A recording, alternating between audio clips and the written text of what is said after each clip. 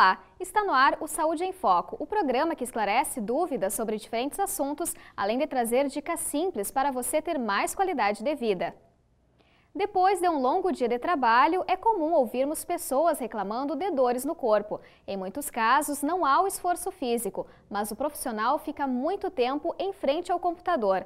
Por isso, é preciso ter alguns cuidados com a postura corporal. A nossa dica de hoje, então, é sobre posturas e posicionamentos corretos que a pessoa deverá utilizar enquanto está trabalhando.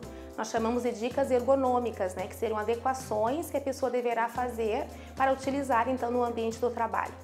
Pensando né, que a pessoa utiliza uma cadeira, o ideal é que haja um posicionamento correto das pernas então que o assento deverá abranger todo o comprimento das coxas, né?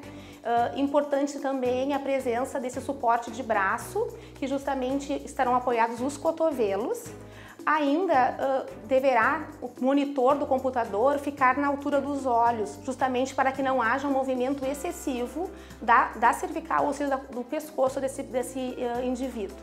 Também uh, faz-se necessário, então, é importante que haja um apoio para os pés, para que essa pessoa vá intercalando o movimento das pernas, né, durante o período que está digitando, para que não haja permanência, né, então, por tempo excessivo na mesma posição.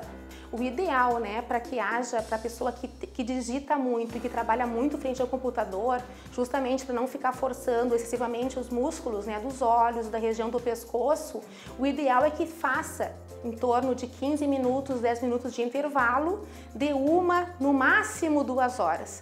Só que a gente sabe né, que uh, isso aí acaba sendo difícil justamente pela cobrança né, e pouco tempo que muitas empresas né, fornecem uh, a esses uh, usuários. Então, que haja um momento então para se fazer um exercício né, de alongamento com o pescoço, com os membros superiores, né, com essa musculatura do punho, justamente pela, pelo trabalho excessivo. Se a cadeira for imprópria e inadequada, problemas na coluna lombar, então um pouco mais abaixo. Uh, se não houver né, o apoio dos braços, muitas vezes as pessoas poderão ter formigamento na região das mãos, que poderá ser né, pelo apoio errado do cotovelo. E a longo prazo, se a pessoa digita muito, problemas então como as tendinites, né, que são processos inflamatórios decorrentes né, do trabalho de, de digitação uh, prolongado. Se houver isso, se houver assim perda de movimentação ou dor ao movimento, é procurar um médico e posteriormente uma fisioterapeuta, um fisioterapeuta, justamente para fornecer orientações e também o tratamento adequado para essas patologias. De acordo com dados do Ministério da Saúde, cerca de 15 milhões de brasileiros têm algum grau de comprometimento dos rins, mas apenas 100 mil sabem disso. As doenças renais são silenciosas e a descoberta costuma ocorrer quando o problema já está avançado. Por isso, a prevenção é fundamental. No Questão Saúde de hoje, você confere quais são os sintomas e as formas de tratamento das doenças que afetam os rins. Olá! No Questão Saúde de hoje, eu converso com o médico nefrologista Dr. Luiz Alberto da Silva para esclarecer algumas dúvidas sobre doenças renais.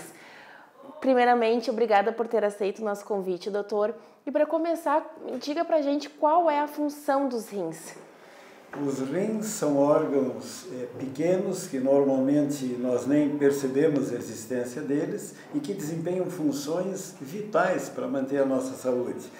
Os rins regulam o nosso equilíbrio de água e de eletrólitos, eles excretam, por exemplo, o excesso de líquido que nós tivermos, eles excretam diversos produtos finais do nosso metabolismo, as impurezas, digamos assim, escórias que as nossas células produzem eles regulam o nosso equilíbrio ácido-básico, eles produzem outras substâncias fundamentais, como por exemplo a eritropoetina, que é fundamental para estimular a produção de glóbulos vermelhos na medula óssea.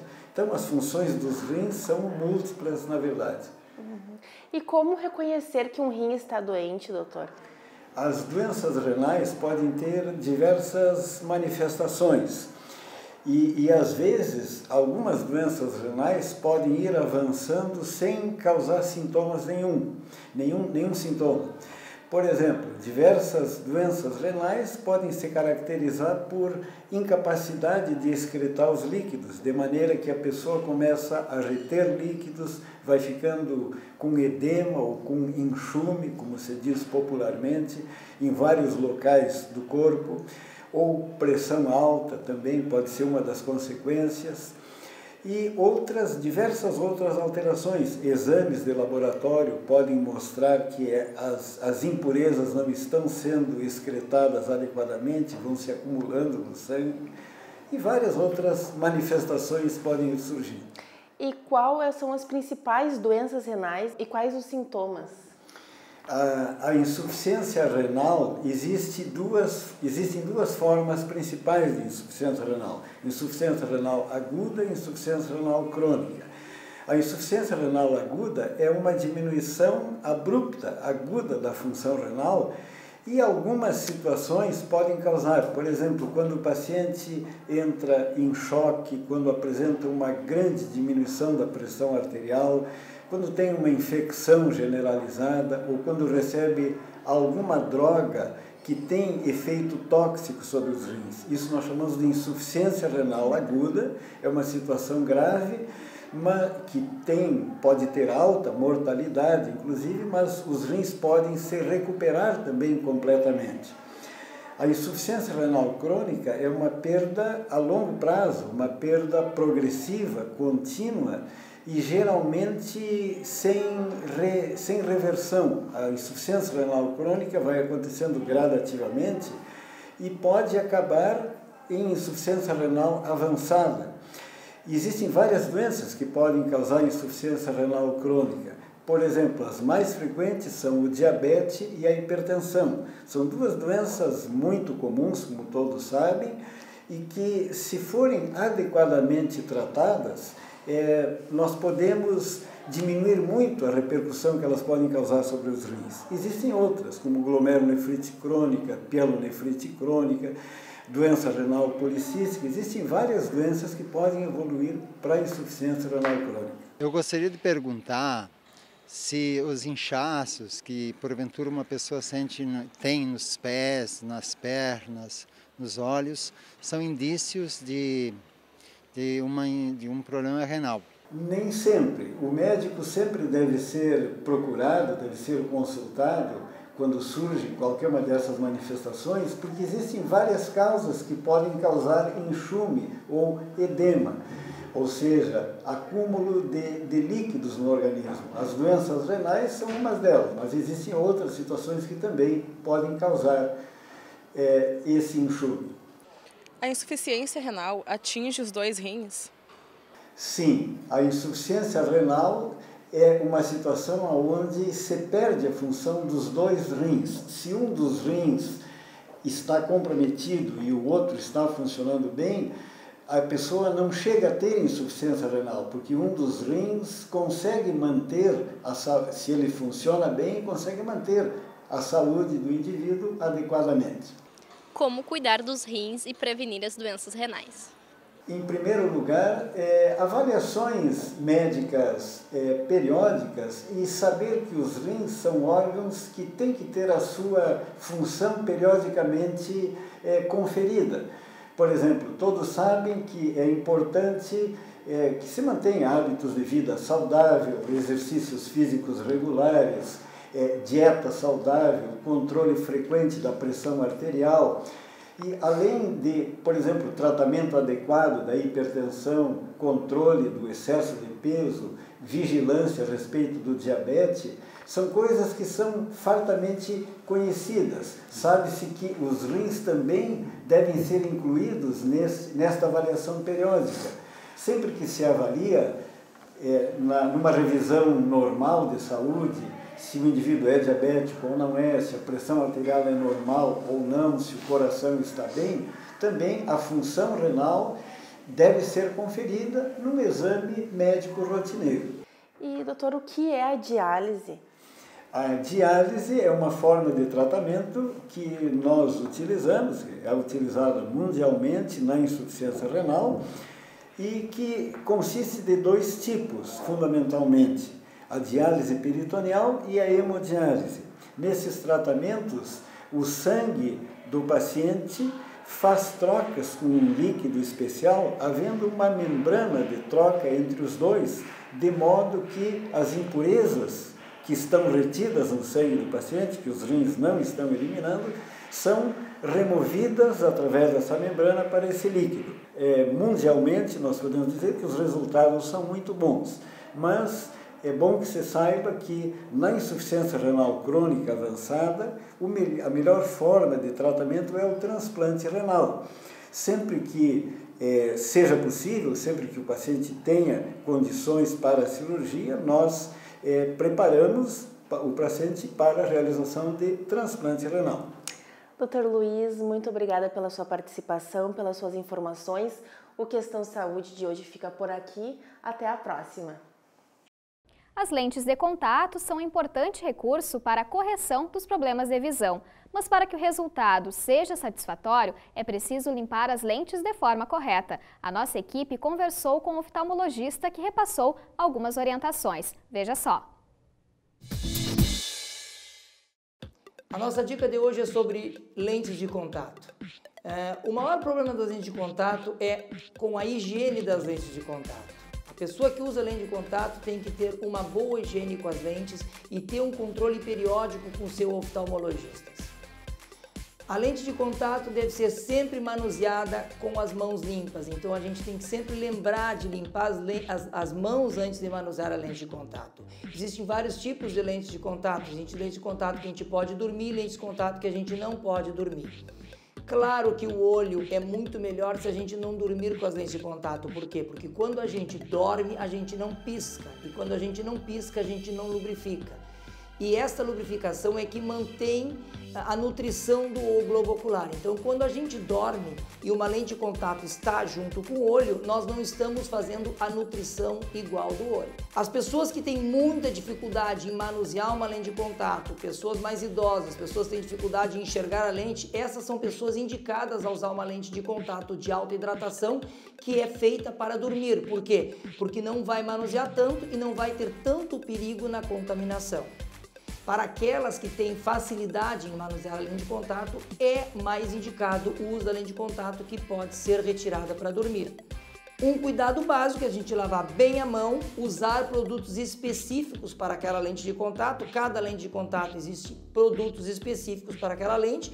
Nós fazemos uma boa asepsia no estojo que guarda-se a lente de contato. O estojo é uh, um, um, mecanismo próprio, um, de, de, de, de um meio de cultura bom para se manter fungos, para se manter bactérias. Então a gente tem que ter uma boa higiene nesse estojo também limpar esse estojo de vez em quando, fazer uh, uma, uma desesterilização do estojo com água quente ou ferver o estojo é uma boa indicação para se manter um estojo limpo nas lentes de contato. E o controle periódico com o seu oftalmologista. Isso é uma coisa muito importante para aquela pessoa que usa lente de contato. Nós vamos para um breve intervalo e no próximo bloco você confere um bate-papo sobre os cuidados que devemos ter com a alimentação e a atividade física no inverno. Voltamos já!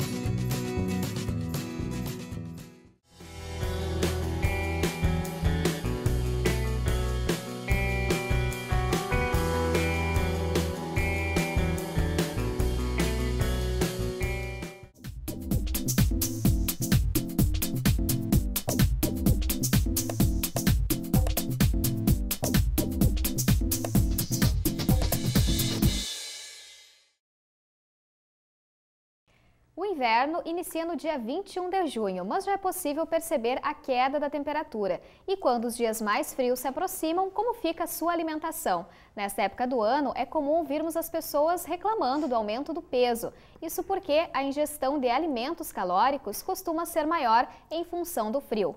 Além de manter uma dieta equilibrada, os exercícios físicos também são fundamentais para quem quer manter a forma. E mais do que isso, ter qualidade de vida. Sobre este assunto, eu converso hoje com a professora do curso de nutrição, Cristina, e também com o professor de educação física, o Marcos. Sejam bem-vindos ao programa e muito obrigada pela participação. Obrigada. Obrigado pelo convite. Bom, antes do nosso bate-papo, eu convido vocês e o pessoal de casa também para assistirem uma reportagem que mostra um pouco da procura pelas academias aqui em Santa Maria. A gente sabe que muita gente deixa os exercícios um pouco de lado, mas tem aqueles que, mesmo nos dias mais frios, ainda buscam a atividade física. Manter a forma parece ser mais difícil no inverno, principalmente por conta do frio, mas não é o que ocorre nesta academia. Até mesmo com as baixas temperaturas, as pessoas continuam praticando exercícios físicos. O movimento no inverno não é tanto como é em setembro, outubro, mas ele é um movimento bom. Então, salvo alguns horários, tipo de manhã bem cedo e o final da noite que é um pouco mais fraco. A época que a gente tem menos movimento, como eu já tinha dito, é na época do verão mais intenso, janeiro, fevereiro, final de dezembro, que é época como Santa Maria é cidade universitária, e daí o pessoal também que trabalha normalmente viaja, então essa é a época do movimento mais baixo. O frio pode ser convidativo a ficar em casa, assistindo a filmes ou relaxando, mas não para Everton e Eduardo. Eles estão entre as pessoas que, mesmo com o inverno batendo a porta, não se intimidam. Com frio ou sem frio tem que achar coragem, né? E você não perde, perde o pique, aí é complica. Verão e inverno eu vejo sempre. Até gosto de vir mais no inverno. O exercício físico é importante, mas também não se pode deixar de lado a alimentação principalmente no inverno, onde a tendência é o aumento de consumo de alimentos calóricos para aquecer o corpo. É por isso que o nosso corpo sempre ganha um pouco de peso no inverno. Todo alimento ele gera energia dentro do corpo da gente, principalmente os carboidratos. E é esse tipo de alimento que as pessoas mais recorrem no inverno. Por exemplo, uma massa, uma sopa, se não tiver um capelete, um aioline dentro, não é uma sopa. Então, essa sopa vai ter um valor calórico maior. A nutricionista reforça que as massas e as sopas, pratos comuns da estação, não precisam ser vistas como inimigas da boa forma. Os responsáveis pelo aumento de peso, na maioria das vezes, são os complementos servidos a essas receitas. Que geralmente tem gordura, geralmente vou ter uma quantidade grande de queijo ou vou ter carne. Então, a agregação do, do da, da, carne, da, da, da gordura e da massa é que vai aumentar meu peso. O segredo continua sendo a boa alimentação com moderação e exercício físico. Lembre-se, todo exagero traz consequências. É ele quem pode atrasar cada vez mais o projeto de um corpo saudável. Bom, a gente viu um pouquinho ali do pessoal que procura as academias, né? Quais que seriam então os exercícios mais recomendados para quando se aproxima o inverno? Andressa, assim, ó, da forma que eu vejo, eu entendi a tua pergunta. Se no inverno existem exercícios que seriam mais apropriados do que no verão? Isso. Eu acho que não tem essa, essa diferenciação entre o clima e o tipo de exercício que se vai buscar, entendeu? Pelo menos na forma como eu vejo as coisas. A forma como eu vejo as coisas é ache o exercício ao qual você se adapte. Ache o tipo de treinamento, o tipo de atividade ao qual fique mais fácil para que as pessoas sigam aquela rotina de, de, treinamento, independente da estação do ano que, em que elas estejam. Então, respondendo de maneira objetiva, eu não vejo exercício específico para inverno, para verão, para primavera, para outono. O importante é cada um achar que o tipo de exercício que te deixa confortável, o tipo de exercício que tu vai conseguir manter por uma quantidade grande de tempo e seguir o teu programa de treino. E quanto à alimentação, a gente precisa mudar um pouquinho os hábitos alimentares também no inverno? Na verdade, a gente não precisa mudar. Existe uma mudança uh, por questão das pessoas buscarem o conforto do calor no alimento. E existe sim uma necessidade aumentada no nosso corpo em manter temperatura. Com essa demanda aumentada, que o meu corpo gasta um pouco mais para se manter quente, o que acontece é que as pessoas acabam sim buscando um pouco mais de caloria. Uh, porém, a questão é que as pessoas acabam usando isso como desculpa não só para deixarem de lado os alimentos do tipo vegetais, frutas, e acabam substituindo esses alimentos por alimentos de uma densidade calórica muito maior, que vão ser as massas, uh, as sopas com excessos de carboidrato, e muitas vezes isso acaba trazendo uma demanda calórica significativa. Então, levando ao ganho de peso. Mas a pessoa não precisa deixar de consumir esses alimentos, ela teria que fazer uma dieta mais equilibrada. Exatamente. O que a gente recomenda é que se você percebe que os alimentos frios do tipo vegetais, saladas, de uma forma geral, não apetecem por estarem frios, muda a forma de preparo deles. O uso da sopa uh, propriamente dito, dos refogados, que você vai estar consumindo igual esses, esses alimentos que vão trazer uh, micronutrientes muito importantes, inclusive para nossa proteção agora, mas uh, nesse período né, onde a gente está suscetível a várias doenças Uh, do trato respiratório, que estão relacionados ao nosso sistema imunológico, e esses elementos vão ser fundamentais. Então, a recomendação é muda a forma de preparo, mas não deixa de consumi-los. E o fato da presença do carboidrato ser mais energético uh, pode ser usado sem dúvida, mas a questão é controlar a quantidade com que se usa e evitar, assim como a, a professora Tereza colocou anteriormente que, no vídeo que a gente assistiu, a estar agregando excesso de queijos, molhos à base de creme de leite, a mistura mesmo de muitos tipos de carboidrato. Então, o uso moderado é o grande segredo. Também a questão das bebidas quentes, né? O chocolate quente, como que fica aí? Tem que maneirar um pouquinho. Também, aí entra a questão do, bom, uma bebida quente, por que não um chá? Né? Um chá com frutas, uh, o chá com alguns elementos termogênicos, como o gengibre, a canela, que ajudam bastante no aumento da temperatura corporal e, inclusive, também está acelerando um pouquinho o metabolismo, que pode dar uma segurada nesse ganho de peso. Professor, durante o inverno, uh, o corpo ele queima mais as calorias para se manter aquecido. Seria, a gente poderia dizer então que seria mais fácil emagrecer no inverno com atividade física ou não? Eu acho que uh, seguindo essa tua linha de raciocínio, teoricamente sim. Então, o nosso corpo ele sempre vai buscar o estado de equilíbrio interno, que é o que chama de homeostase. Né? Ele sempre busca um estado de equilíbrio, e se tratando de temperatura, em torno de 37 graus. Então, quando a temperatura é mais fria, o corpo começa a lançar mão de vários processos para que essa temperatura interna, esse equilíbrio interno se mantenha. A Cristina tocou nesse ponto, nessa primeira fala dela, de que o corpo trabalha mais, gasta mais energia para se manter aquecido. E essa foi a tua pergunta. Então as pessoas podem pensar, bom, então se o meu corpo trabalha mais, gasta mais energia, então eu vou emagrecer. Mas acontece que não é bem assim. Porque se o, teu corpo passa a gastar mais energia, certo? Mas também tu passa a consumir mais alimentos, né? Que é o que, é o que a Cristina falou aqui também. Tu passa a ingerir mais e mais alimentos do que tu ingeria no verão. Se tu não se, se não se mexe, não treina, não faz atividade nenhuma e aumenta esse consumo calórico, tu acaba engordando. Porque o, a ingestão é superior àquele aumento de gasto energético que a gente tem. E isso acaba gerando um aumento de peso. Tem que haver um equilíbrio. Exato. E eu acho que também, provavelmente, existe algum mecanismo cerebral por trás disso que faz com que a gente também tenha mais fome, porque a gordura é um isolante térmico. Então, pensando dessa, sob essa perspectiva, quanto mais gordura a gente tiver no inverno, ótimo. Dentro dessa linha de raciocínio. Por isso que o urso é gordo. Ele fica, ele passa no, no inverno, só o pelo não, não iria manter ele aquecido, aquecido isolado termicamente. Né? Então, sobre esse, esse mecanismo de isolante térmico, para o corpo é bom. Porque ele precisa gastar menos energia para se manter aquecido, porque ele já tem uma camada isolante de gordura.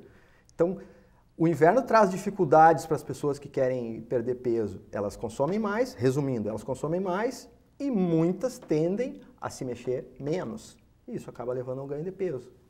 Para quem às vezes não, não gosta muito de ir até uma academia, né? quais seriam os outros exercícios que tu recomendaria? Uma caminhada? Quanto tempo seria essa caminhada? Olha, essa questão do exercício ao ar livre, ela se complica no inverno. Esse é o tema central, eu acho, do nosso papo aqui, né? A dificuldade que as pessoas têm de se exercitar num clima frio. porque num clima quente, a gente estava conversando um pouco antes de, de, de começar, é fácil. Todo mundo se mexe no verão. Mesmo aquele que é sedentário, ele bota um calção, ou a menina bota um, um short, uma camiseta e sai a caminhar na rua.